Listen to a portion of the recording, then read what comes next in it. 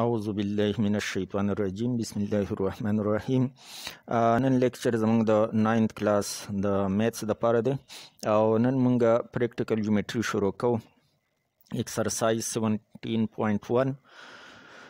په دې کې به کوېسچن نمبر 1 مونږ کوو په دې کې وایي چې کنسټرکټ ا ټرایانګل ایکس وای زد فار د فالوینګ اسمپشنز په دې کې تاسو له ګیون در کړی دی چې میر اف انګل ایکس ایکول ټو 30 ډیګری میر اف ایکس وای ایکول ټو 3.5 سانتی میټر اینڈ میر اف ایکس زیډ ایکول ټو 4 سانتی میټر ریکوایرډ مونږ ته ټو کنسټرکټ ټرایانګل ایکس وای زیډ دا جوړول دي بیا به د دې سټیپس اف کنسټرکشن هم تاسو لیکئ زه به درته صرف ډایګرام جوړوم د ټراینګل شپږ الیمنټس دي درې سایډونه او درې انګلز په دې کې چې درې الیمنټس تاسو معلومي نو تاسو د هغې نه ټراینګل جوړولی شي خو په درې الیمنټس کې به یو لازما سایډ موجودي که درې واړه انګلز دي نو د هغې نه بیا زموږ سره مختلف ټراینګلز جوړېدی شي نو یو به پکې سایډ لازما تاسو له درکړی نو بیا تی تاسو صحیح ټراینګل جوړولی شئ که درې وړه سایډونه درکړي نو د هغې نه ټراینګل جوړېدی شي خو که درې وړه انګلز یو سایډ پکې نه نو بیا د هغې نه صحیح ټراینګل نه جوړیږي مختلف قسمه ټراینګلز د هغې نه جوړېدی شي غټ واړه نو دلته چې کوم کوېسچن تاسو له درکړی دی په دې کې یو انګل او دوه سایډونه درکړي دي او دا کم انګل چې دی نو دا د دې دواړه سایډونو په مینس کې انګل دی د دواړه سایډونو انکلوډډ انګل دای تاسو له درکړی دی د دې لپاره به تاسو اول یو سایډ چې هغه ایکس وای دی دا به 3.5 سانتي متر ډرا کوي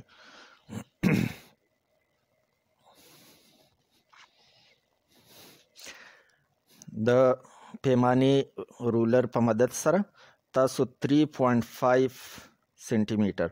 دا به زمونږ سره 3.5 دا ځای نو د دې نه د زیرو پورې دا لاین ډرا کوي دې له تاسو څنګه چې دلته نوم زمونږ سره ایکس وای دی نو د یو سایت ته تاسو ایکس ولیکئ او بل سایت ته بل اینډ ته وای ولیکئ اوس تاسو لا چې کوم انګل درکړی هغه په ایکس باندې درکړی انګل ایکس ایکول ټو 30 ډیګري نو په دې ځای باندې به تاسو په دې ایکس سیره باندې د 30 ډیګري انګل جوړ کړئ خو د انګل جوړولو لپاره تاسو کمپاس استعمالوي کم انګلز چې زموږ سره په کمپاس باندې جوړېدای شي هغه زموږ سره ملټیپلز اف 15 یعنی 15 جوړه او 30 جوړه او دغه شان 45 جوړه او 60 جوړه نو ملټیپلز اف 15 دا تاسو خو په اسانۍ سره په کمپاس په ذریعہ باندې جوړولای شي په دې ایکس باندې زه د کمپاس نیډل به په دې اینډ پوینټ باندې کېدم او د دې لاین نه داسې یو آرک ولګوئ خو دا به خیال ساتئ چې کمپاس تاسو کم زیات وس نشي بیا به په دې انټرسیکشن پوینټ باندې کمپاس کې دی او د دې نه داسې یو آرک کټ کړئ دا کومګ د دې اند پوینټ سره میلاو کو دا انټرسیکشن نو دا به د 60 ډیګري انګل دا څنګه هر څومره غټ آرک تاسو اخلي انګل به زموږ سره د 60 ډیګري جوړیږي په شرط د دې چې تاسو بیا دا کمپاس کم زیات کړی نه څومره باندې چې دا آرک لګولې دی نو په هغه عمر باندې بیا د دینه انټرسیکشن وکي نو دا به زموږ سره د 60 ډیګري انګل دا د 60 ډیګري انګل مونږه نیمو چې 30 جوړ شي نو نیمولو میتود دا دی چې په دې ځای باندې کمپاس کې دی دلته بره یو آرک ولګوي اوس که ستاسو کمپاس د هغې نه زیات شوی خیر دی دلته یو آرک ولګېد بیا په دې بل پوینټ باندې کمپاس کې دی او دلته یو آرک داسې ولګوي دا دواړه آرکس یو بل انټرسیکټ کوي دغه پوینټ اف انټرسیکشن به تاسو د پیمانې په ذریعه باندې د دې ایکس سره میلاو کوي هلته هم پوینټ واضح کړئ چې کم پوینټ مونږ میلاوهو داسې مخکې تاسو دا بوځئ اوس به تاسو دا زموږ سره ایکس دی دا وای دی زډ به دلته څه پوینټ وي نو د ایکس زیډ تاسو له 4 سانتي متر درکړي دا ایکس او دلته زیډ وي نو دا سایډ تاسو له 4 سانتي متر درکړي اوس به تاسو کمپاس راواخلي او دا به 4 سانتي متر کولاو کوي د دې ریډیس به 4 سانتي متر والی په زیرو باندې نیډل کې دی او دا سي د 4 پورې دا اورسوي خو خیال وکوي چې کمپاس بیرته کم زیات نشي دا زما سوس ایگزیکټ چې تاسو لاس په دې باندې لوس کوي او دا واپس کمیږي زیاتیږي نو نو بس دا 4 سانتي متر په دې ایکس باندې تاسو دا کې دی او د دې نه 4 سانتي متر دا کټ کوي نو دغه پوینټ اف انټرسیکشن دا بر دی وای سره میلاو کوي دا پوینټ اف انټرسیکشن د دې سره دا سی جاین کوي نو دا ستاسو سره ایکس وای زد یو ټراینګل اکارډینګ ټو د ګیون ډیټا جوړ شو چې دا سایډ د انګل پکې زمونږ سره 30 ډیګری دی دا سایډ مونږ 3.5 سانتي متر اغسته او دا سایډ هم ته 4 سانتي متر واغسته نو د اکارډینګ ټو د ګیون ډیټا دا زمونږ سره ټراینګل ایکس وای زد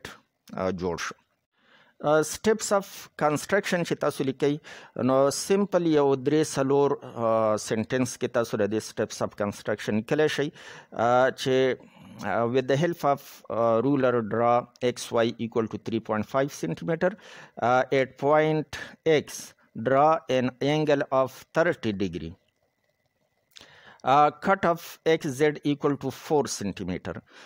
جاین زیډ ټو وای بس دا زموږ سره د دې سټیپس اف کنسترکشن شو اخر کې ورسره دا ولیکئ چې ټراینګل ایکس وای زیډ از د ریکوایرډ ټراینګل اوس په کوېسچن نمبر 1 کې پارت نمبر 3 حالانکه دا سیم کوېسچن دي خو دا درته هم زه سلف کومه مطلب دا ډایګرام درته جوړوم په دې کې ګیون تاسو له ایم انګل زد درکړی 60 ډیګري او ایکس زد ساید 3.8 سانتي متر او وای زد ساید 4.4 سانتي متر درکړی ریکوایرډ زموږ سره ټو کنسټرکټ ټرینګل ایکس وای زد او سټیپس اپ کنسټرکشن چې کوم سټیپس تاسو وکړو هغه به بیا لیکئ په دې کې اول تاسو ایکس زد ساید راکاږئ 3.8 سانتي متر نو 3 سانتي متر د دې ځای پورې دی او د 8 ملي متر چې پسې واخلئ یعنی د 4 نه 2 ملي متر کم نو دا ځای جوړیږي نو د دې نه د زیرو پورې دا لاین دا به زمونږ سره د ایکس زد دا سایډ شي بیا په زد باندې انګل درکړی 60 ډیګري نو تاسو به د کمپاس په ذریعہ باندې په دې زد باندې په دې سایډ د 60 ډیګري انګل جوړ کړئ 60 ډیګري انګل د ټول نه سمپل چې په دې زد پوینټ باندې یعنی په اخیری سیره باندې د کمپاس نیډل کېدی او د دې سایډ نه داسې یو آرک ولګوئ. بیا کمپاس به کموئ زیاتوئ نو همدغومره به او په دې انټرسیکشن پوینټ باندې کېدئ او د دې نه یو آرک داسې بل راکاږئ. اوس دا انټرسیکشن او دا زیډ دا چې موږ میلاو کو دا به زموږ سره د 60 ډیګري انګلی نو په دې ځای باندې اول پنسل کېدی او بیا ورسه پیمانه ولګوئ او دلته دا پوینټ هم واضح کړئ چې کوم به تاسو میله وهئ داسې نو دا زموږ سره د سکسټي ډیګري انګل جوړ شو بیا تاسو له وای زد درکړی دی وای به دلته پوینټي او زد به دل دا دی نو وای زد مطلب دا سایډ تاسو له درکړی دی چې دا 4.4 سانتي متر دی نو کمپاس براواخلی او 4.4 سانتي متر به د دې ریډیس جوړ کړئ مطلب کولاو بکئ 4 سانتي متر ور سره 4 ملي متر 0.4 سانتي متر د 4 ملي متر برابري نو دا وړې درجه زمونږ سره د ملي مترو دي په دې کې به خیال کوئ دا اوس زما سره 4.4 ته ایگزیکټ برابر دی په دې زد پوینټ باندې کمپاس کې دی او برا یو آرک کټ کوي چې دغه لاین نه دومره حصہ چار اشاریه چار سنتی میټر د دې نه کټ کی دغه پوینټ اپ انټرسیکشن د دې ایکس سره ملاو کوي چې زمونږ سره ټراینګل ایکس وای زد کمپلیټ شي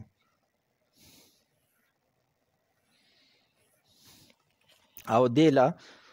وای نوم ورکي دا زموږ څه پوینټ وای دلته معلوم شو نو دا پوینټ وای موږ د ایکس سره جاین کو کنسټرکشن د دې داسې لیکلی شي چې ډرا ایکس زیډ equal to 3.8 centimeter construct angle z equal to 60 degree cut off زد وای یا وای زد ایکول ټو 4.4 سانتي متر 4.4 سانتي متر جاین وای ټو ایکس ټراینګل ایکس وای زد از د ریکوایرډ ټراینګل دا سلور یا پنځه سنټنسز کې د دې کنسټرکشن تاسو لیکلی شئ